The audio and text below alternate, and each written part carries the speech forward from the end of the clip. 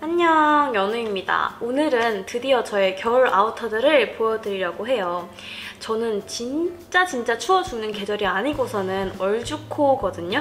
뭐또 부릴 수 있을 때 부리자 해서 최대한 얼죽코를 입는 편이고 그래서 오늘은 얼죽코도 꽤나 따숩게 입을 수 있는 아우터들 위주로 소개를 해드릴게요. 제가 이번 겨울 내내 돌려 입고 있는 제품들이라서 진짜 저의 찐 애정템들입니다. 첫 번째는 바로 이 리의 코트입니다. 제가 이거는 12월 달에 구매를 해서 지금도 정말 잘 입고 있는 아우터 중에 하나인데 요즘은 또 숏한 기장의 아우터가 인기도 많고 얘가 또 유독 흘러내리는 느낌이 정말 마음에 들어서 구매를 했거든요.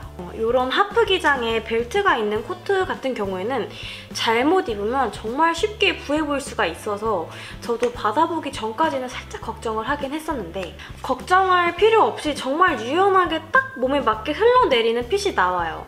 저희 엄마도 저 이거 입은 거 보고 세련됐다고 해가지고 저도 바로 뿌듯했던 제품입니다. 제품은 소재감도 되게 고급스러워요. 부들부들하고 거기다가 털 빠짐도 없고 구김도 거의 안 가는 편이라서 진짜 잘 샀다 싶은 제품이고요. 이 코트가 뻣뻣하지가 않다 보니까 벨트를 꽉 묶거나 아니면 살짝 풀어서 스타일링을 해도 부해 보이지 않고 되게 자연스러운 핏이 나와서 좋은데 조금 아쉬운 거는 벨트가 되게 잘 풀리기는 해요.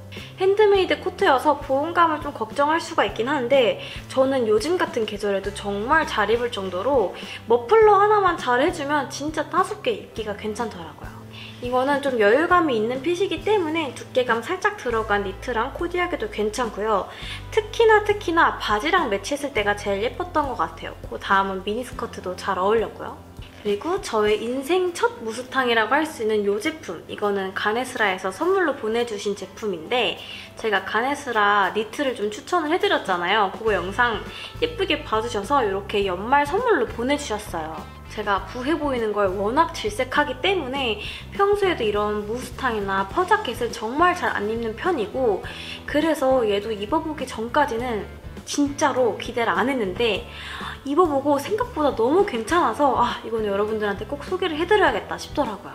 얘는 reversible 제품이라서 이렇게 무스탕 제품도 있고 밖에는 이렇게 양털 제품인데 저는 여전히 무스탕은 살짝 친하지 않아서 이렇게 양털 자켓 위주로 입고 있어요. 이게 reversible, 양털, 무스탕 치고는 핏이 꽤 formal하게 나오는 편이에요. 이런 거 진짜 잘못 입으면 유연하지도 않고 딱딱해서 이렇게 위로 붕 뜨면서 막 어색해지는 핏 있잖아요. 저는 딱 그런 걸 너무 싫어해서 피하려고 했는데 이게 진짜 예쁘게 핏 좀 나오더라고요. 뭔가 되게 무게감 있게 아래로 착 내려가는 느낌? 그리고 털 빠짐 되게 중요한데 이거는 털 빠짐은 진짜 거의 없는 편이기는 해요. 이렇게 잡아 뜯어도 뭐가 나오지 않는데 털도 되게 짧고요.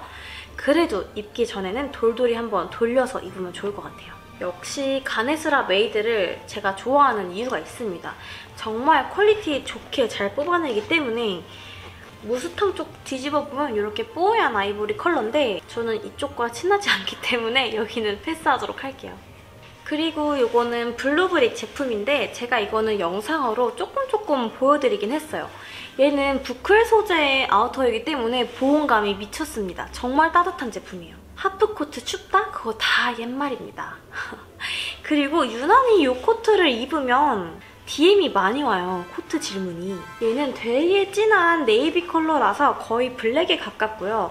살짝 햇빛에 조금 비춰졌을 때 푸른기가 도는 정도? 그리고 하프 기장의 아우터 치고 되게 클래식한 느낌이 잘 나요. 보통은 좀 미니멀하거나 살짝 lovely한 느낌들이 많은데 얘는 딱 클래식하다라는 느낌이 정말 잘 맞는 제품이고요. 여러분 아실지 모르겠는데 그 은하철도 999의 메텔이 좀 생각이 나요. 입으면 약간 그런 느낌이 있습니다.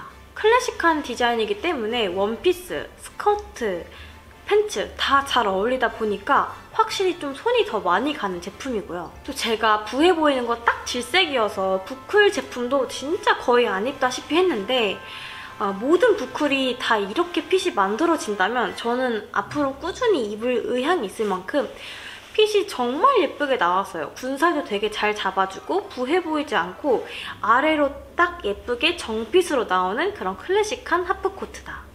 추울 때는 이렇게 넥라인 조금 올려서 입기도 하고 이게 또 이렇게 있으니까 응. 진짜 오랜만에 인터넷 쇼핑몰에서 구매를 한 아우터예요. 저는 아우터는 조금 비싼 돈을 주더라도 좋은 걸 사서 오래 입자 약간 이런 마인드이기 때문에 좀 브랜드 제품 위주로 구매를 하긴 했었는데 미뉴에트는 또 제가 개인적으로 정말 좋아하는 쇼핑몰이잖아요. 그래서 믿고 구매를 했거든요. 이게 또 평이 되게 좋더라고요. 저는 10만 원대인데 가격 대비 진짜 가성비 괜찮은 제품이에요. 얘는 울로 된 코트예요. 그래서 되게 고급스러운 제품처럼 야들야들 차르르 흐르는 핏이 아니라 탄탄하게 일자로 조금 무겁게, 무겁게 딱 떨어지는 핏이거든요. 그래서 되게 formal한 코트 핏을 찾으시는 분들한테 정말 추천을 드리고 싶은 제품. 일자로 툭 떨어지는 그런 핏의 코트입니다. 저는 개인적으로 이런 코트 같은 경우에는 좀 되게 편한 룩, 뭐 조거 팬츠나 그냥 통 넓은 바지에다가 맨투맨 하나 입고 이거 하나 걸치고 머플러 딱 해주면 되게 코디가 살아요. 조금 멋돌이스러운 코디가 되기 때문에 그렇게 한번 코디를 하는 걸 추천을 드리고 싶고 저는 은근 daily로 되게 손이 많이 갔던 제품이어서 여러분한테도 한번 추천을 드리고 싶어요. 저의 애증의 이 톰보이 코트 이건 제가 2년 전 겨울에 구매를 해가지고 입을 때마다 문의를 정말 많이 받고 있는 제품이에요. 이거는 매장 가서 구매를 했고요. 톰보이 제품들이 정말 다 길거든요. 그래서 저도 그 자리에서 바로 수선을 맡기고 입었던 제품인데 기장 수선이 조금 많이 들어가다 보니까 이 원래 코트의 핏과는 좀 다르게 연출이 되더라고요. 좀 어정쩡한 느낌도 있고 체구가 확실히 좀 작다 보니까 코트가 뭔가 커 보이기도 하고 좀 부해 보이는 것 같기도 하고 좀 애매하긴 해요. 그래서 저는 이 코트 같은 경우에는 벨트를 뒤로 묶어서 살짝 허리 라인을 강조해서 입긴 했었거든요. 근데 톰보이도 이렇게 벨트 끈이 끊긴다는 거 이거 살 때부터 조금 아슬아슬하다 싶더니만은 2년 만에 결국은 끊기고 말았습니다.